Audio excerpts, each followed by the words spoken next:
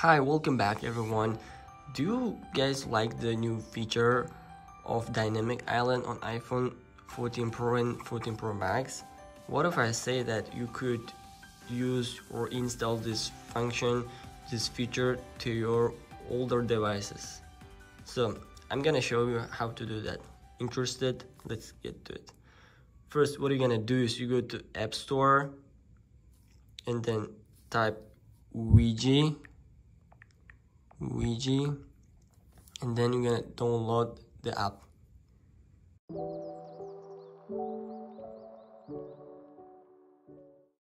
And then before opening the app what you're gonna do is you're gonna take a screenshot of your background you know go to right take a screenshot and then go to the app.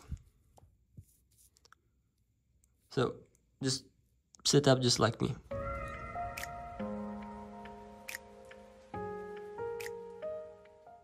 Alright what you're gonna do is you go to manage set transparent background add that wallpaper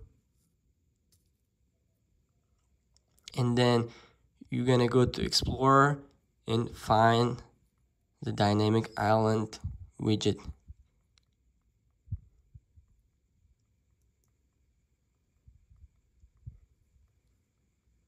here dynamic island widget. You go to it allow okay and turn on all allow. So what you're gonna do is you're gonna import and then go to manage. As you can see there is medium widget slots. You import on the first slot okay no. So you go to the main menu press on the screen plus go down Widgy and then find the medium one. Here you can add the widget and allow. So as you can see we just added the dynamic island on iphone 12 pro.